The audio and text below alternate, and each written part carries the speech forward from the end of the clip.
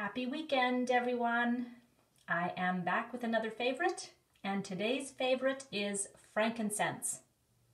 This is one of the oils that comes in the starter bundle, and this is definitely a heavy hitter. If you have major issues going on, like I mean major issues, you want frankincense in your life. I try to never run out of it. It's also really good for any kind of skin issues.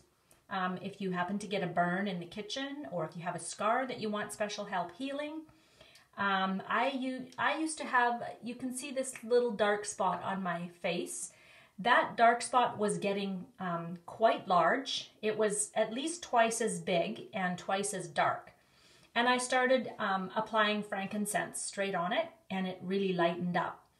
Um, another thing that I used frankincense for is um, when we generally we go um, somewhere warm every winter. This winter we couldn't, so we are um, feeling sorry for ourselves a little bit.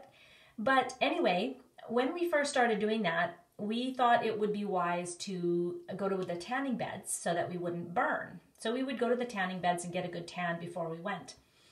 And um, after I came back from holidays, I had this itchy thing on my back. I wasn't sure what it was.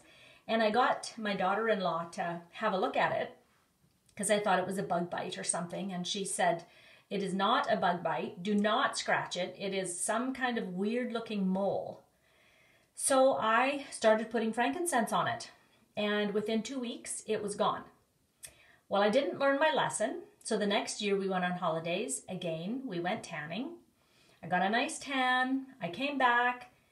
I had another one somewhere else on my back.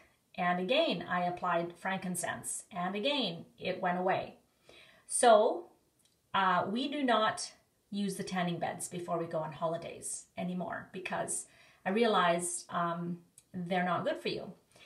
Um, but yeah, I'm going to post some links below this video so that you can go and do some of your own research because I'm not allowed to make any claims or anything like that and I, and I wouldn't want to. I'm not a healthcare professional and you should always do your own research.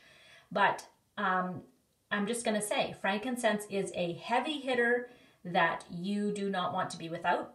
And another fun story, I mean, I grew up reading the Bible and hearing Bible stories my whole life.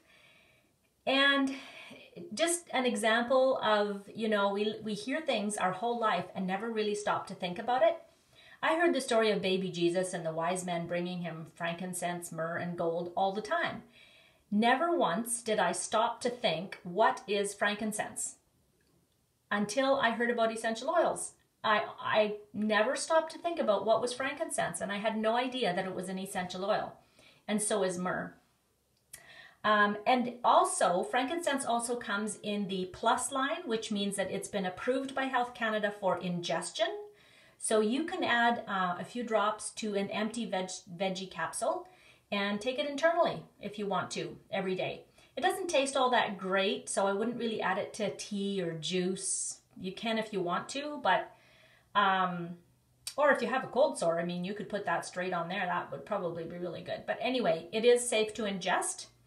And um, yeah, definitely one of my favorites. And I will see you all again tomorrow with another favorite.